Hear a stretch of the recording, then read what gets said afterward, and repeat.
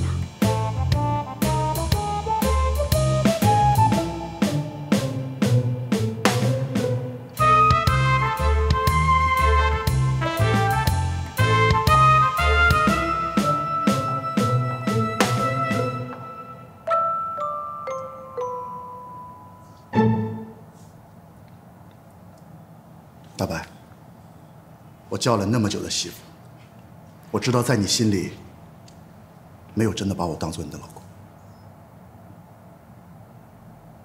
今天的求婚虽然晚了一些，但是我还是想告诉你，谢谢你曾经嫁给我。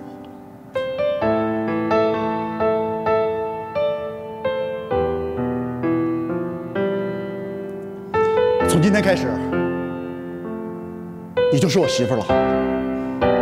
相信我，我一定会努力的攒钱给你买套房子，让你过上好日子。我们生一群孩子，幸福的走完一辈子。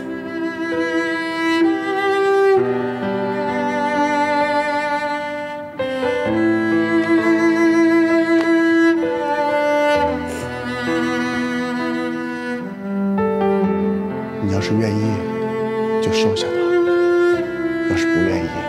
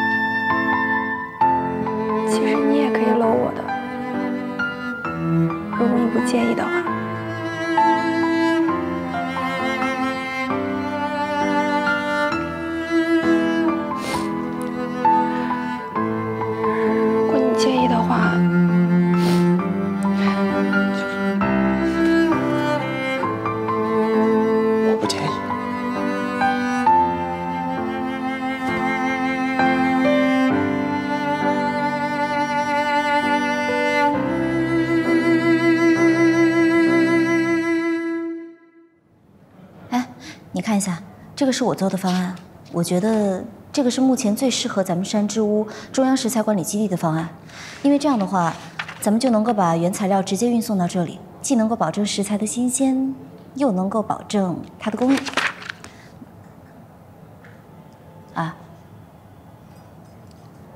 都说男人工作的时候特别的帅，女人在工作的时候更迷人。行了，给你找工作呢。来，你看看，你看看，来，这个位置。行，这样最好了，可以解决我们的食材的安全的问题，而且山之屋可以扩大的经营。嗯，虽然我们的投资成本会比较大，但是我觉得值。那你会支持我吗？我当然会支持你了。但是我们现在这样做的话，会需要很大的资金。这段时间我可能会去忙着筹资金，没有太多的时间陪你。商量什么呢？啊陆小姐，萱娟，嗯，你怎么来了？来找你算账。行，所有的事情都是因为我而起的。你要是有什么要说的，你就跟我说吧。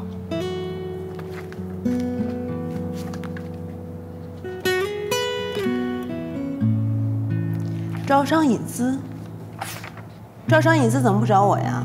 怎么扩大经营了就把我这个原始投资人给甩了？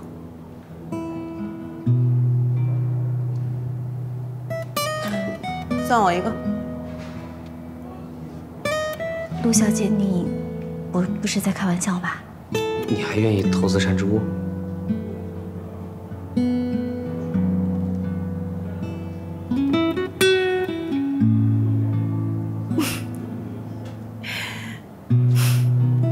看给你们紧张的，逗你们呢。啊，逗我们呢？不过说真的，上一次投资山之屋，资金和利润已经全部收回。这一次，我准备以陆氏的名义投资山之屋，和你们一起大展宏图。而且，我非常喜欢。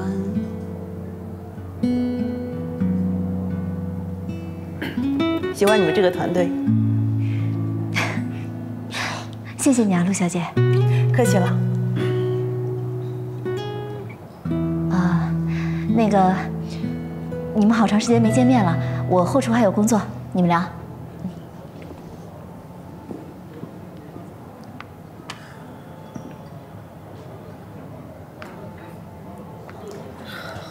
作愉快。欢迎回到山之屋。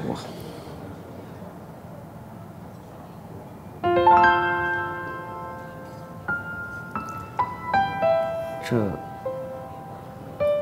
你们的故事我都知道了，有兴趣听一下我的故事吗？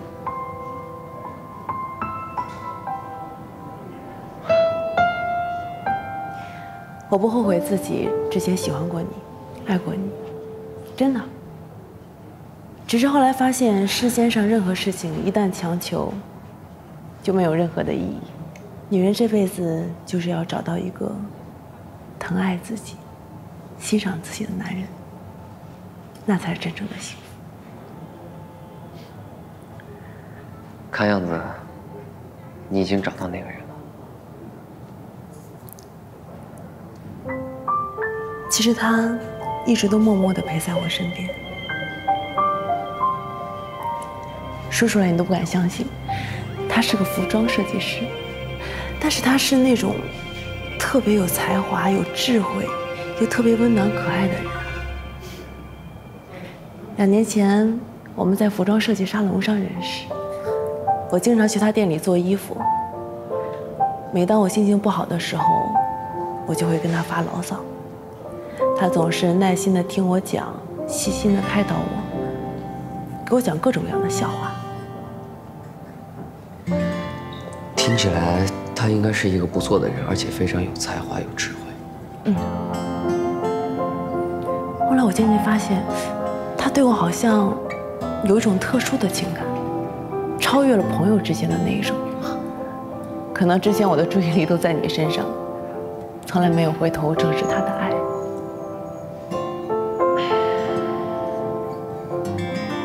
就在我那段时间 被你拒绝以后，我感到自己很伤心、很难过，觉得自己有种挫败感。轩君，对不起啊，这种挫败感是我给你的。你不需要和我说抱歉，真的，在爱情上坚持自己的观点是正确的。就是那段时间，他就一直陪在我身边，无微不至的照顾我，给了我很多温暖。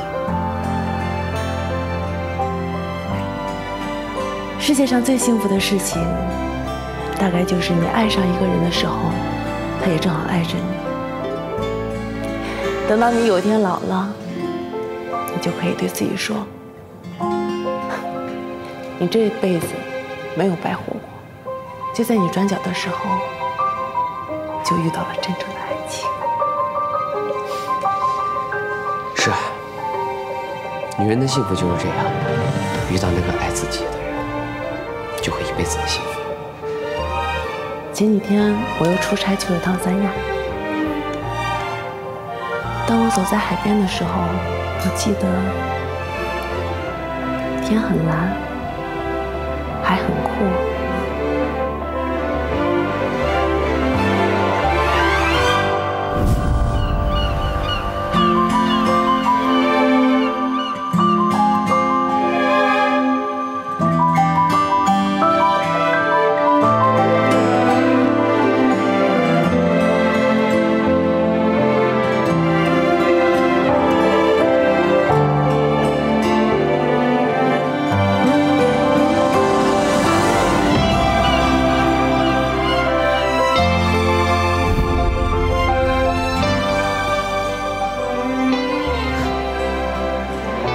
听你这么说，好像真的还挺幸福的。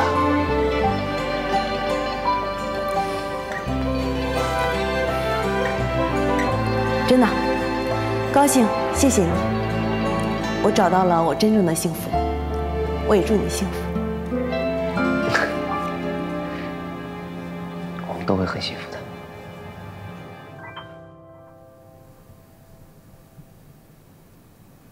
高董事长在移动中交代过，一旦山之屋的营业额连续三个月超过五百万元，就把他生前录的一段视频交给你们。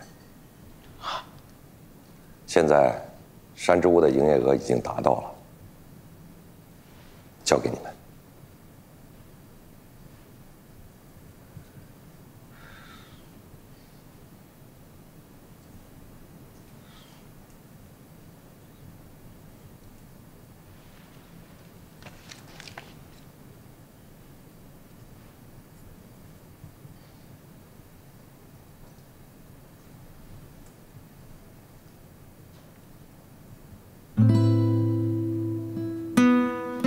高雅、高谢，当你们看到这个视频的时候呢，爸爸可能已经不在人世间了。但是在走之前呢，我想跟你们说一件事，因为这件事情，它让我内疚了一辈子啊！什么事呢？就是那个我们山之屋中毒事件，但其实造成这个中毒案件不是杨勇敢和秦一月夫妇，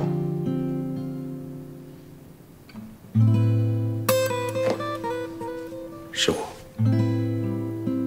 是你们的爸爸。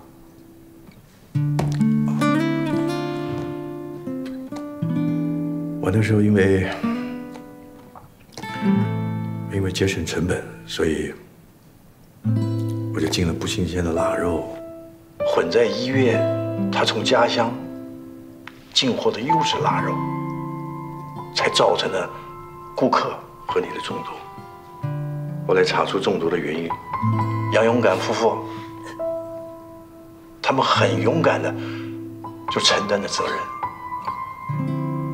我出差回来，知道这事之后，已经无法挽回了，而我一直没有勇气去承认，是我害了杨勇敢他们夫妇。我为了这个团队继续经营不受影响，我选择了隐瞒这件事情，而这件事情只有李巨良、郭师傅他们知道。这也是我想为什么郭师傅他他心灰意冷的离开餐厅，去国外去谋生。为了这件事情，爸爸一直很内疚，一直到现在啊，我都都无法弥补这个遗憾。而医院，你们的秦阿姨，她她还是爸爸初恋的爱人，爸爸，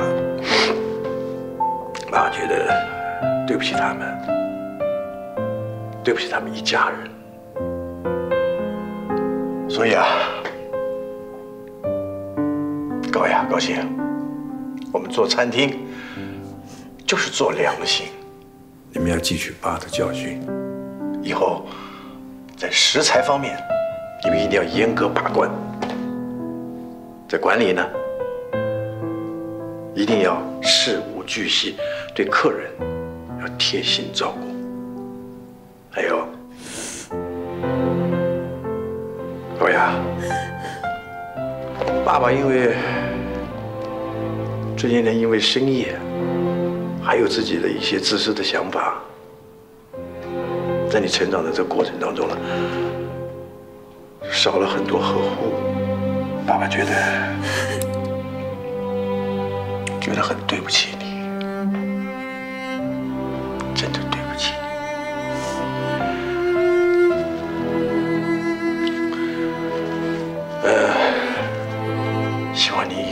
好好照顾你自己，找一个你真正你自己爱的人。OK，你很优秀，爸爸以你为荣。给爸爸亲一个。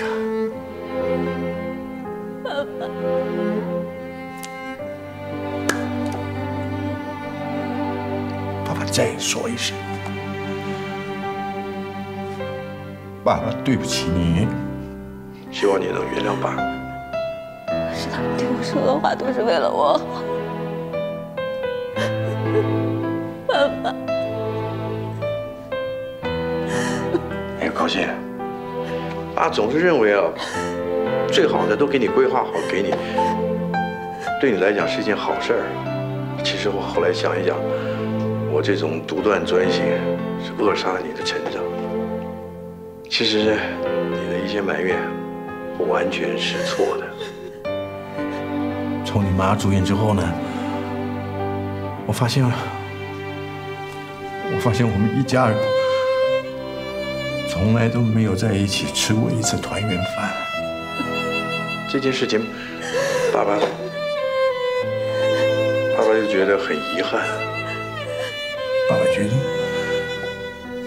我觉得我对不起你们。你能原谅爸爸吗？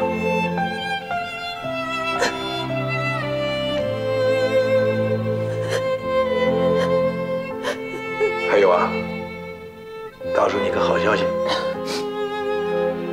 我找到杨师傅杨勇敢他的女儿杨小柔，直觉告诉我，这个女孩她能挽回真正的你，所以我会把餐厅交给他，交给你们。那现在，当你们看到了这个视频的时候，就证明爸爸的判断没有错误，你们成功了。耶！最后呢，爸要跟你们说一句话，这句话呢，我从来也没跟你们说过，今天我要郑重的跟你们说。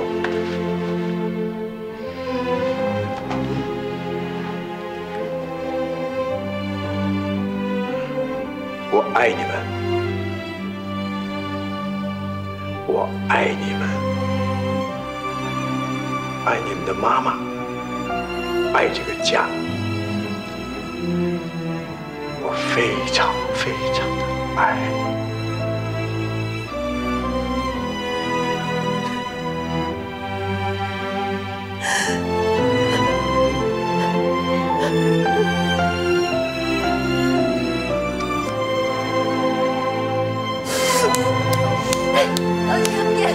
不希望看到你这样。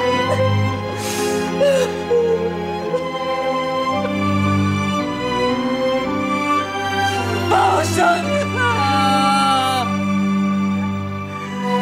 妈。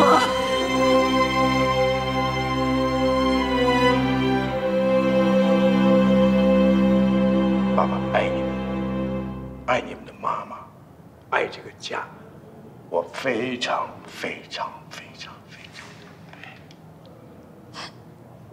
高叔叔他太恶心了。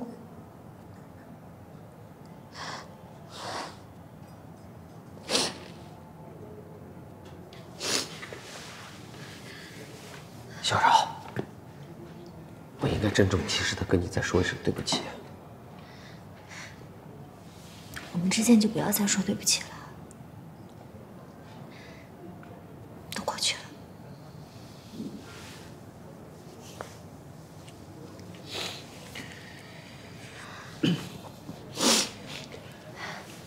我们一定要把山之屋做好，不能让他们失望。既然要扩大山之屋的经营，那厨师是必不可少的。我和郭一阳制定了一套计划，想马上实施。好，首先，我们一定要招聘一批新的厨师，让他们到正规的厨师学校接受正规的培训。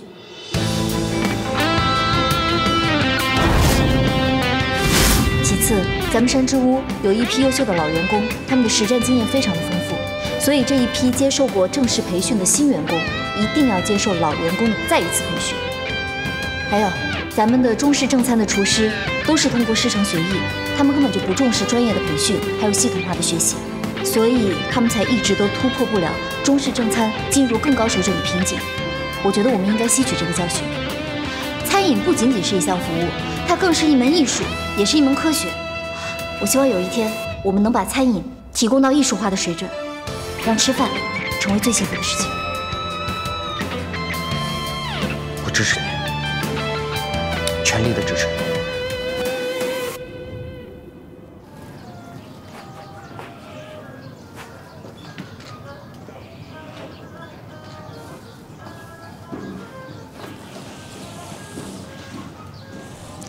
妈，你知道吗？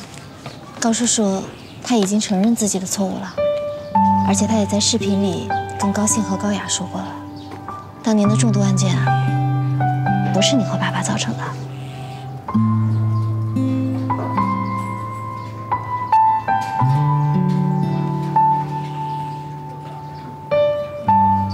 这件事情终于过去了，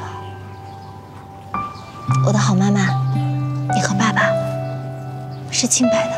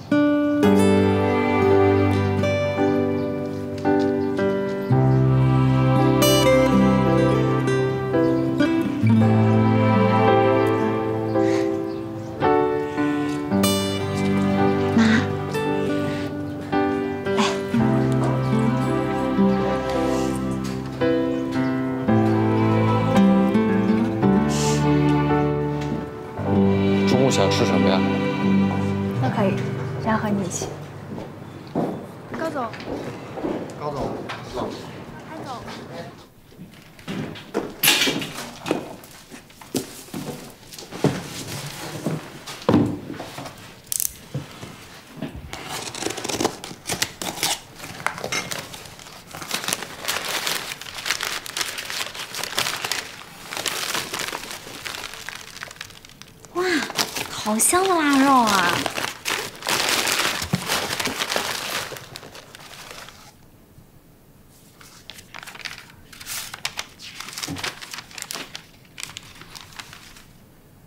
小柔，给你寄了些腊肉，是你妈妈亲手做的。你妈妈好多年没有做腊肉了。那天你回桃花江之后，她突然要我和她一起去买了最好的五花肉，做了这些腊肉。如果我没有猜错的话，这应该是给你做的，所以我就给你寄来了。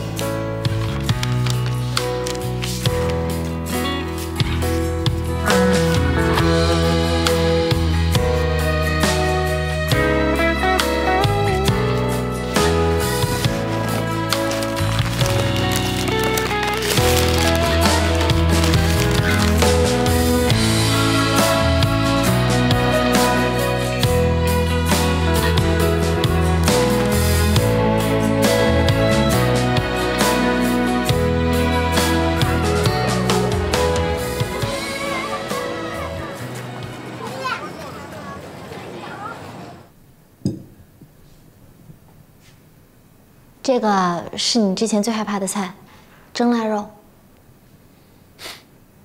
杨小柔，杨小柔，你记不记得第一次你在我家给我做腊肉的时候，差点让我吐了一地，倒掉。哎，这可不是我做的，我妈妈亲手做的。秦阿姨做的。嗯。哎，我爸之前跟我说，秦阿姨做的腊肉是天底下最好吃的。这还是他回桃花江这么多年第一次做这道菜呢。我前几天回家去看妈妈了，我把高叔叔的事情告诉他了。我走之后，妈妈就做了这道很多年都没做过的菜，我猜他应该听明白了。哎，既然你的挑食症都好了，这么好的菜，要不要尝一尝？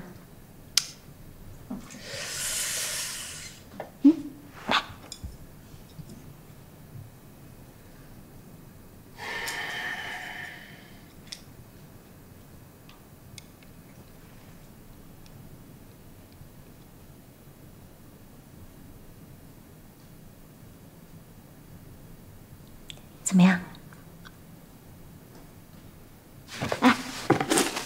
那不行，你别勉强，你快吐出来，吐出来，没事吧？对不起。好吃。你又耍我。哎，怎么会这么好吃啊？多吃点。杨小柔，你现在呀，不光是得到了我的胃，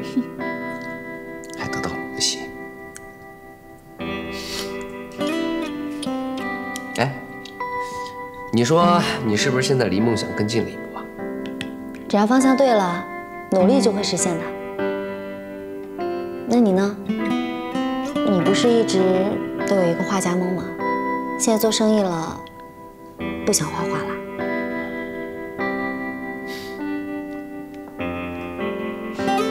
高兴，我有一个想法，想跟你商量一下。干嘛啊？这么认真？搞得我都不敢跟你开玩笑了。你才认真呢！你最近越来越严格，搞得我都害怕我这个主厨的乌纱帽掉。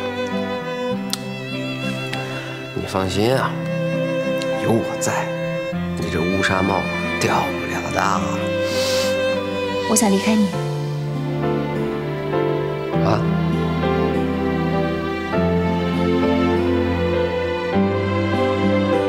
高兴，虽然我很舍不得你，还有妈妈，但我还是决定要离开一段时间。一名优秀的厨师，除了要会做菜，还要有良好的品德和开阔的眼界，以及高水准的品鉴力。其实以前大家对我的评价是对的，我有天分，有热情，也很努力，但还是缺少眼光和历练。只有对自己要求高，才能对别人要求高。如果我不能以德服众，以厨艺服众，又怎么能胜任主厨的位置呢？啊，我和易阳商量过了，现在山之屋的整体业务都上了轨道，他也赞成我到法国的厨艺学院去接受一段时间的正规训练，这样我才能放开眼界，融会中西。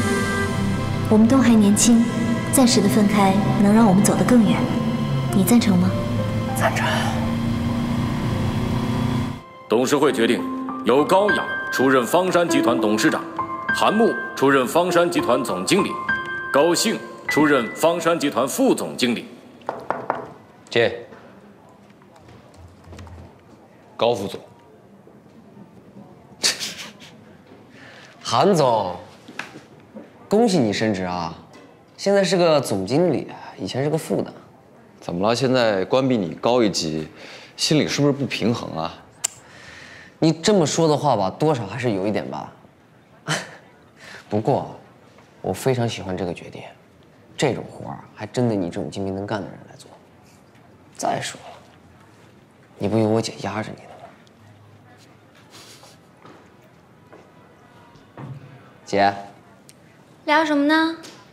聊聊男人之间的话题。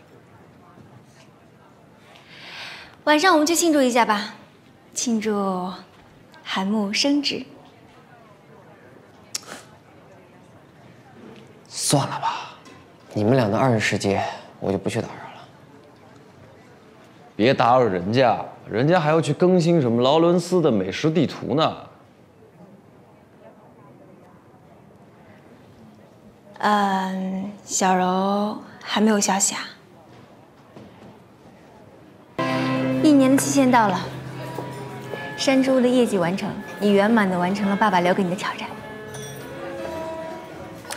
我想爸爸现在在天上，一定会替我感到骄傲的。爸爸一直都为你骄傲。太好了，我终于可以拿到分红了。正好我和小野之前资助的那些贫困儿童生的学费已经没有了，现在我可以把这些钱拿上弄过去。看来劳伦斯先生并不是像传说中的那么唯利是图吧？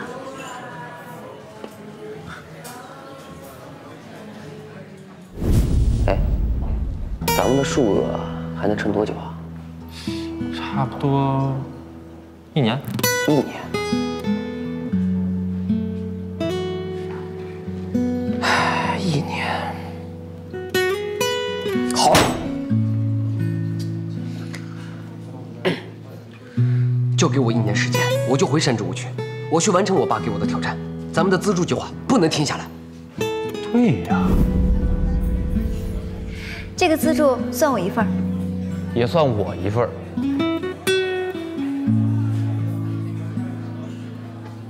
行啊，感谢，那我就不客气了啊。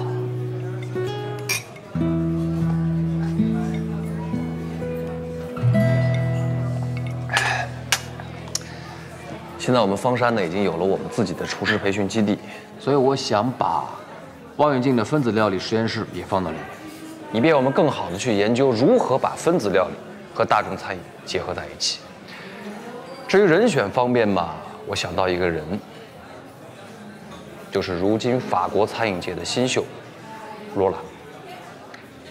罗拉不仅可以把中西餐完美的结合在一起，而且她在上个月的分子料理大赛中打败了丹尼尔，所以我认为她是这个实验室最合适的主理人，而且也是我们方山下一步发展计划中，我觉得最合适担任出品总监的人。这个是我的计划，你们看一下。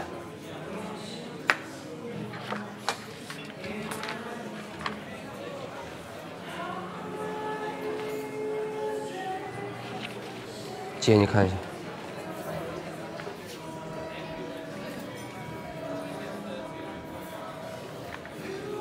他这要的薪酬可真是不低啊！所以我觉得，人家高自然有高的道理嘛。那既然是人才，韩总，你去谈吧。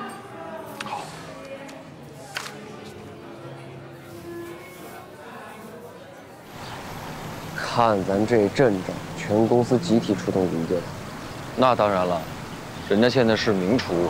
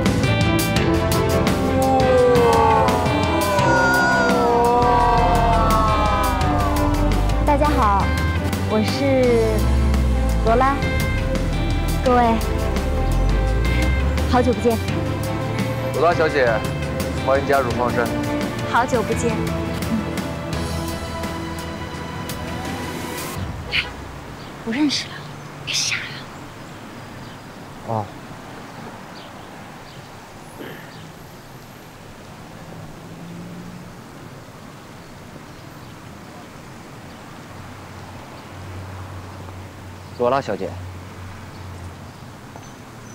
我说过，不论你跑到哪里都逃不出我的手掌心。不要以为你跟我姐，还有我准姐夫商量过，我就不知道你在哪。我一直默默的关注着你的一举一动。之前我给了你一个劳伦斯的惊吓，现在你给了我一个罗拉小姐的惊喜。我该怎么报答？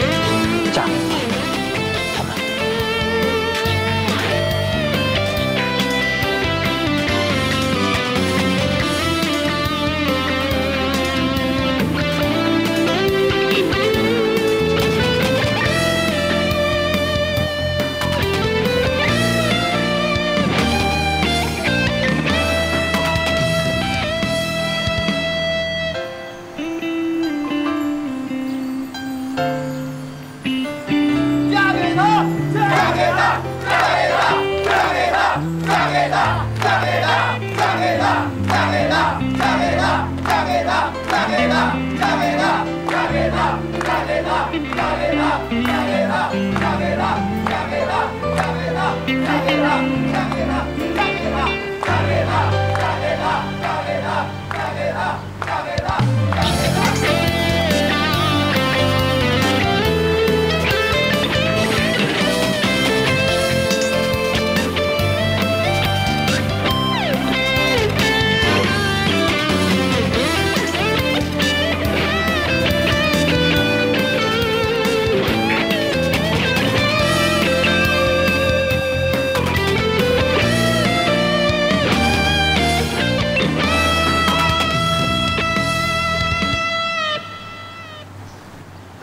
这是我们第三次久别重逢。我再也不要失去你。我好想你。